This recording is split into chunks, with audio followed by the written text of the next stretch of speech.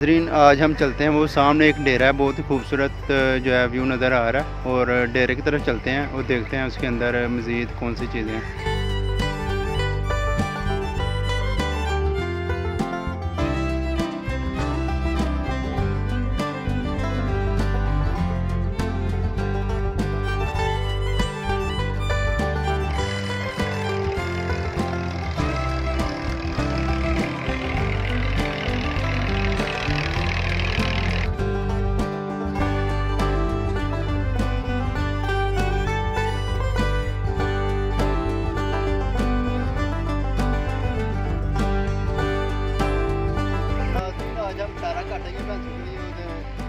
साथ लगी हुई हैं। थोड़ी उनकी हेल्प करवाने लगे हैं। और इसके साथ इसके बाद जो है लेकर जाएँगे चारा हम और उसकी जो है एक मशीन लगाई हुई है जो जिसके आगे वो भैंस को जो है लगाएँगे और फिर वो जो है चारा जो है काटा जाएगा। तो चलिए स्टार्ट करते हैं।